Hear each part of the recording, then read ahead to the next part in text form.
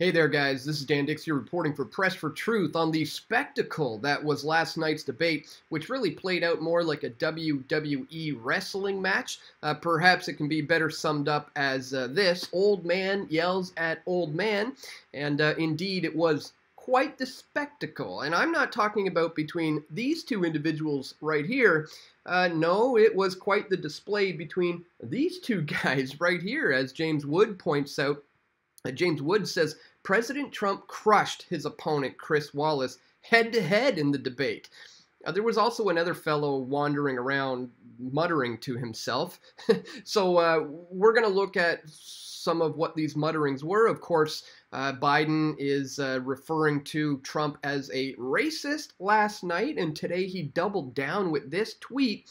He says there's no other way to put it. The President of the United States refused to disavow white supremacists on the debate stage last night as he shows a picture of Kyle Rittenhouse. It says, as we saw in Kenosha. Well, his, uh, Kyle's uh, lawyer has recently chimed in saying, I hereby demand that Joe Biden immediately retract his false accusation that Kyle is a white supremacist and militia member responsible for violence in Kenosha. So we're going to look at that, but we're also going to look at the main takeaway that I see from uh, what Trump has to say moving forward, especially when it comes to the question to lockdown or not to lockdown. I think that's going to be the main uh, uh, uh debate point moving forward as we head into 2021 and who is going to be the commander in chief when it comes to COVID 19. As Candace Owen correctly points out here, Trump's highlight is acknowledging that the people don't want shutdowns and they're suffering from alcoholism, drugs, divorce, and suicide. Biden is just completely scripted and misleading America. Americans aren't scared about COVID, they're scared about more lockdowns. And indeed, that is the case. So we're going to look at that. Um, we can clearly see that uh, Trump is not concerned with. Uh, wearing masks as as Biden's wife is. Uh, where here we see Trump and, uh, and and his wife without a mask, and Biden's wife comes up to greet him and even gives him a kiss while still wearing the mask. Uh, Trump and his wife, of course, are not doing so. His entire family at this debate also uh, took off their masks once they sat down at their seats because, guys, they're not drinking the Kool Aid like Biden and the rest of his followers are. So we're going to take a look at all of this and much more in this video, guys. But before we do, I'd ask that you check me out here at Patreon. Patreon.com slash Press for Truth. This is where you can sign up for a reoccurring monthly contributions uh, to my efforts. Uh, any amount helps, guys. I'm trying to reach the goal of 5,000. I'm almost at 1,000. So if you appreciate my efforts, Please check the link in the description below to find out how you can sign up here at Patreon for a monthly reoccurring contribution. All right, so let's start with this, guys. Biden calls Trump a racist as they clash over Black Lives Matter protests and race relations during the first presidential debate. Former Vice President Joe Biden on Tuesday called President Donald Trump a racist during a heated exchange over issues of race and protests against law enforcement.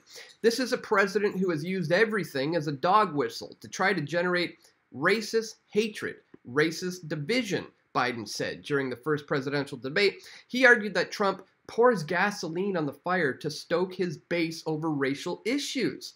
Trump refused on Tuesday night to condemn white supremacists and white uh, right wing groups who've engaged in violence against Black Lives Matter protesters.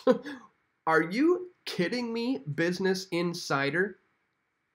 That Trump refused to condemn white supremacists and right wing groups who engaged in violence against Black Lives Matter protesters? First of all, guys, these are not protesters, these are violent rioters.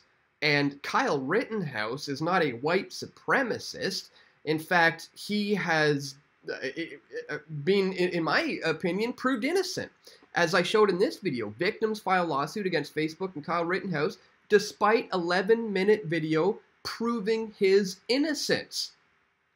And uh, despite that fact, we still have Biden here tweeting out that he isn't innocent, that he's somehow a white supremacist who caused the violence there. Well, as I said, Lin Wood chimed in saying formal demand for public retraction is being prepared for Biden and the Harris campaign on behalf of Kyle Rittenhouse, and rightly so. I also hereby demand that Joe Biden immediately retract his false accusation that Kyle is a white supremacist and militia member responsible for violence in Kenosha. So, uh, you know, a, a lot of, um, of Biden's talking points have already been uh, disproven to not be true. Um, so this is just not surprising that he would take this route, but as I said, I think the more important takeaway, especially leading into 2021, as the powers that ought not to be are using the COVID 1984 nightmare to clamp down on our rights, is the fact that Trump's not buying it and, and Biden is. As we said here, let's take a look at some of these photos. Um, the Trump family arrived at the event in their masks. Um, but then, of course, uh, as soon as they got into the venue, they uh, took them all off, and uh, rightly so. And Biden's uh, family, of course, uh, didn't do so. Here you can see um, the differences between the two. Trump showing, yeah, I have one, but I put it on when it makes sense to wear one. And uh, here's his family once again um, refusing to wear the masks while on the inside. Now, some are saying this is breaking the, the rules of this particular venue. Um, but I, I, I, think this shows uh, a strong leadership in, in the face of this um, uh, of uh, of COVID 1984. So let's take a look at this. Trump says Biden will destroy the country with lockdowns at the first presidential debate. Um, President Trump defended his push to reopen the country amid the ongoing coronavirus pandemic at Tuesday's first presidential debate claiming opponent Joe Biden would destroy America by keeping it shuttered. Uh, he, he will destroy this country. You know, a lot of people between drugs and alcohol and depression, when you start shutting it down, the president said, of an unprecedented shuttering of the economy due to the pandemic, they're hurting people by keeping them closed. They're hurting people, he continued during their face to face showdown. It's like being in prison, he said. Look at what's going on with divorce. Look at what's happening with alcoholism and with drugs. It's a very, very sad thing, the commander in chief went on, and correctly so. Biden accused Trump of throwing the American people under the bus and said he was risking U.S. lives by pushing for Americans to return to work. Um, he has no intention of doing anything about making it better for all of you at home in terms of your health and your safety and in your schools, Biden responded. Trump has promised a V shaped victory of the economy, but Biden accused his opponents of having no plan. So, uh, I mean, there, there you have it, guys. Again, what I think is is going to be the bigger takeaway here is that Trump is anti-lockdown, um, and and and Biden is pro-lockdown. Um, Biden says it has to be done uh, in a more responsible way. Uh, meanwhile, Trump points out that, look, the longer you delay this, the more problems you're going to have in the long run with uh, uh, depression and, and, suicides and uh, alcoholism and, and divorce and all the things that he correctly mentioned. Um, so as I said, guys, I think that's going to be one of the more important things to focus on moving forward is the issues of the government's response to COVID-19. So we'll see where they go with that uh, in the second debate coming up in, uh, I believe it is a week from today. Um, so I'm going to continue to uh, to watch these. Of course, it's very interesting. I've been watching these presidential debates for quite a long time, my friends, and I'm proud to say today that as uh, as a Canadian watching this, uh, we got our own elections happening. We got these ones watching. I'm proud to say that I have in fact uh, never once taken part in this wrestling match ballerina choreographed play.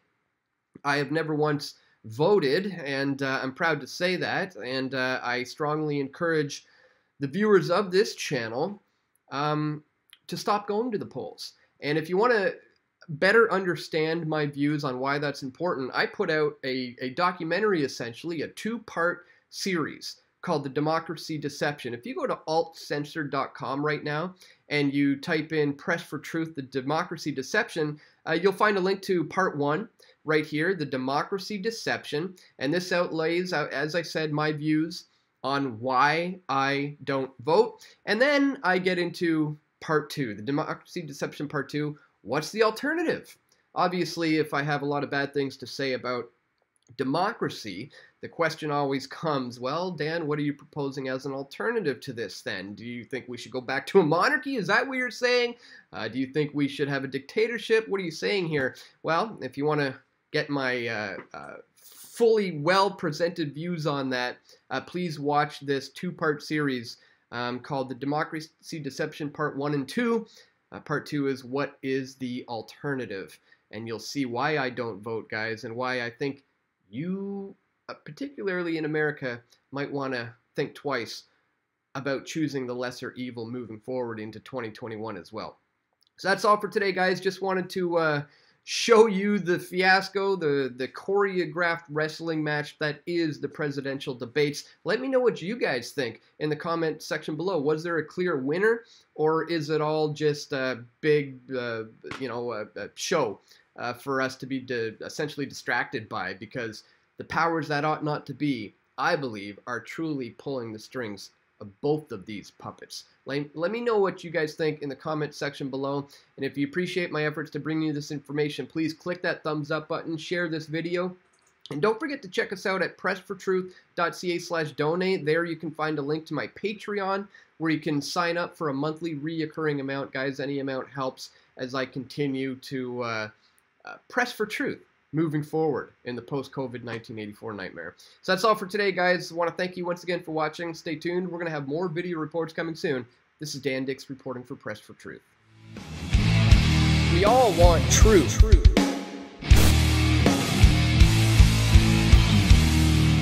The truth will set you free. free, free.